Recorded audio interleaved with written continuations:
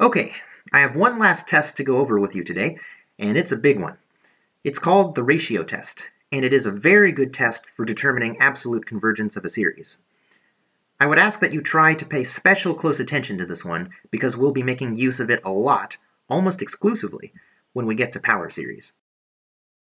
It says, given a series, sigma sum of a sub n, take the limit of the absolute value of the ratio a sub n plus 1 over a sub n, and if the limit you get is strictly less than 1, then the series is guaranteed to be absolutely convergent.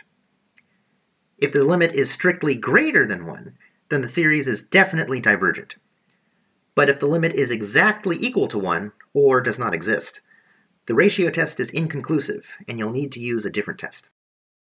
A good thing to keep in mind about the ratio test is it works particularly well on series whose terms involve factorials or exponentials.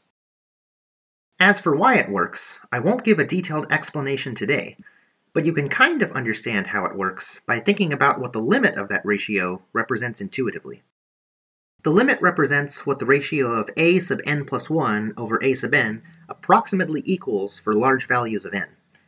If that ratio is less than 1, then it's essentially saying that, for large values of n, the series resembles a geometric series whose r value is less than 1 and hence convergent. But if that ratio is greater than 1, then for large values of n, the series resembles a geometric series whose r value is greater than 1 and hence divergent.